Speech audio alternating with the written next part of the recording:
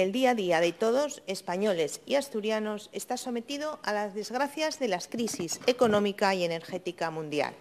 Hoy más que nunca se hacen necesarias políticas eficientes que ayuden a aliviar esta carga a los asturianos. Sufrimos, como usted ya sabe, una disminución galopante de nuestra capacidad económica. Y a eso se suma que llegamos, señoría, muy lastrados tras el parón económico de la pandemia, los estados de alarma ilegales del señor Sánchez y con unas políticas desastrosas del Gobierno central.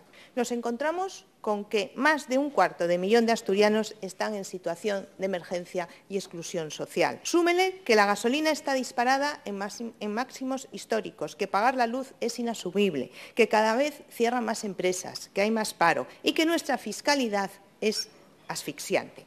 Si ya de por sí la situación económica, señoría, es muy complicada, con esto tenemos ingredientes para que todo empeore y que, produzca consecuencias dramáticas para las familias asturianas. Así que está claro que las familias se ven obligadas a apretarse el cinturón.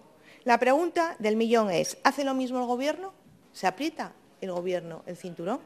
No. Necesitamos saber qué va a hacer el Gobierno asturiano por los ciudadanos para mejorar su nivel adquisitivo. En Vox estamos convencidos de que una mejora en la poca liquidez de la que disponen los asturianos solo pueden llevar por una bajada de impuestos o por la aplicación de cualquier medida directa que permita abaratar la factura que pagan en su día a día los asturianos. Los asturianos necesitan escuchar, señoría, una respuesta que puedan entender, una respuesta que les dé esperanza y una respuesta que se traduzca, en definitiva, en una mejora efectiva de su liquidez.